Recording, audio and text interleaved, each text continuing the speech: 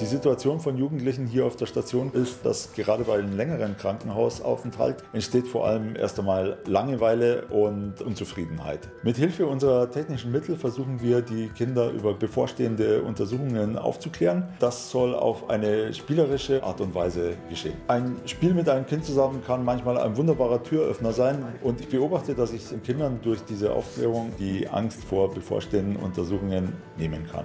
Und jetzt kommen die Gewinnzahlen für das Megalos. Zahlreiche Gewinnerinnen und Gewinner der heutigen Prämienziehung können sich über große und kleine Geldbeträge freuen. 100.000 Euro gewinnen die Megalose mit den Endziffern 838 526 und jeweils 1.500.000 Euro entfallen auf die Endziffern 4733945. Herzlichen Glückwunsch! Du bist ein Gewinn.